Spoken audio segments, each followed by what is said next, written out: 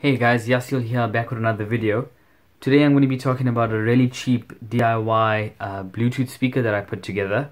Um, the components were really cheap that I picked up online from AliExpress and using some speakers that I had lying around and a lithium ion battery. Okay, so I had um, two of these uh, Samsung home theater speakers lying around. They actually came from a 5.1 uh, home theater system and these speakers were co literally collecting dust in the cupboard and I, I haven't I haven't used them. So um, I thought what better way to put them to use than to uh, to, to build a, a Bluetooth speaker. Um, so these speakers I'm not quite sure exactly what uh, you know what the actual watts on these speakers. Um, I do know the impedance is 6 ohms but I, am honestly not sure what the, ex the exact uh, wattage is um, I'm going to assume that it's either a 10 or a 15 watt speaker because they're not very big. Um, but looking looking at the actual circuitry, uh, I just want to go through the components quickly. Um, here I have a Bluetooth module. Uh, this module uh, you can plug into a 3.5 volt jack and it has its own lithium ion battery on it.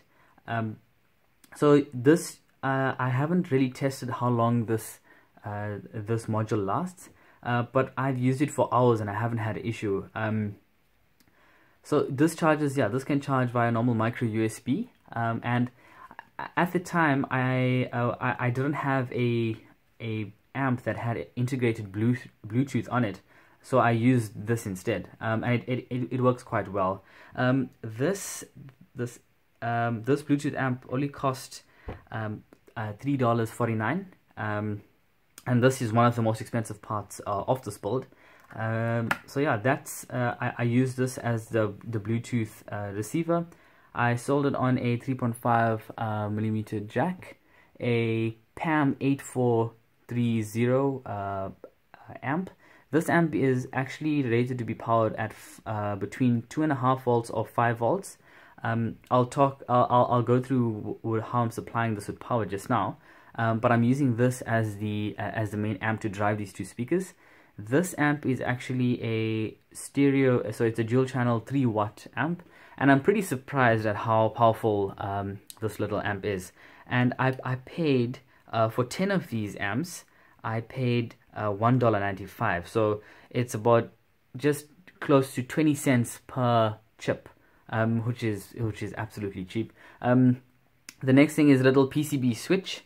Uh, I bought a pack of 10 of these for uh, 95 cents. Um, and this is a little TP4056 uh, lithium ion uh, charge protection board and over discharge uh, overcharge protection. Uh, this is um, I bought a I bought them for about 60 cents each. So to power this, I I wanted something that could be really tiny um, and not too bulky. so I, I decided to use just a single cell I was going to use a step up converter with this battery because this battery's nominal voltage is only 3.7 volts. However, I had some issues with using a, a boost converter where um, the amp, uh, once you increase the volume, it started cutting out. So I, I looked at the spec for this PAM8430 chip and it actually says it can be rated, it can be used with a with between 2.5 volts to 5 volts.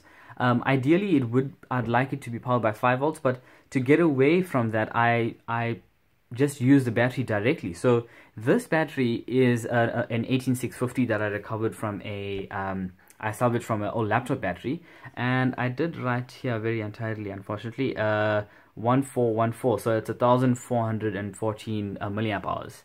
So uh, this um, this 18650 is powering this whole unit, um, except of course of this Bluetooth module. And so this fully charged will be 4.2 volts, and this uh, the protection board will will cut the voltage out before it gets too low. So um, if I'm not mistaken, I think before it it dips below um, 3 volts. I'm i'm not sure i stand to be corrected on that. Uh, but this chip will definitely uh, prevent it from being uh, over discharged um, so i was like I, I, was i connected the battery up uh, to the circuit just to test it and it worked pretty well. Um, so yeah that's basically it. This is actually a very very simple uh, kit to put together. Um, and it took me uh, about an hour 45 minutes to solder all of these guys on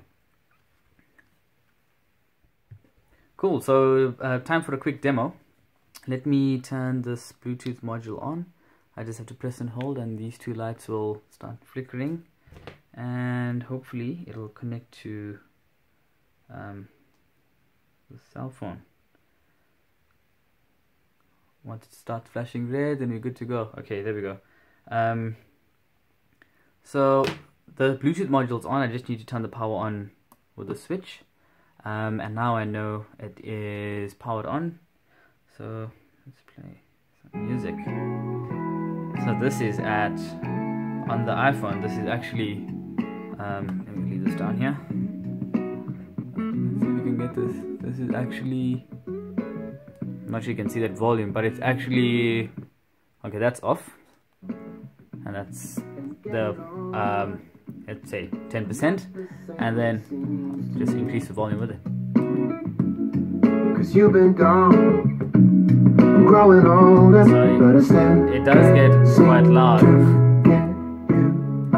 um, like I said I was very impressed with the, the quality of um, of this actual Bluetooth speaker. I was um, the volume as well it, it does get quite loud. Uh, let me reduce this um, yeah, so I'm very very happy with this. I you get a few meters. I, I was you could I could move the phone uh, to the other end of the room and it'll still play fine. Um, but there you go. I mean, this build costs less than ten dollars. Um, but if you include shipping and a few cents, it'll come to ten dollars. I got most of these components from. Hold on, let me pause this. I got most of these components from AliExpress. Um, uh, and some of and the battery of course I, I had salvaged as well as the speakers. So yeah guys i hope you enjoyed the video. Uh, let me know if you have any comments or suggestions. I will leave the seller listings in the description below. Um, thanks for watching. Cheers